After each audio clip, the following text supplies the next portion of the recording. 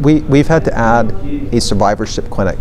on because we have so many people that participated in Resonate, that participated in other studies that we had, the phase two studies, uh, that that are coming back. Many of these patients would not be with us now, who are living their, you know, who are living their lives, coming to see us every three months, taking you know taking their medicine, and really getting on to doing impactful things that are affecting other people's lives. So it, it sort of magnifies the effect of the drug helps the patient, it refocuses them, and some of these patients just do great things. All of them, you know, all of them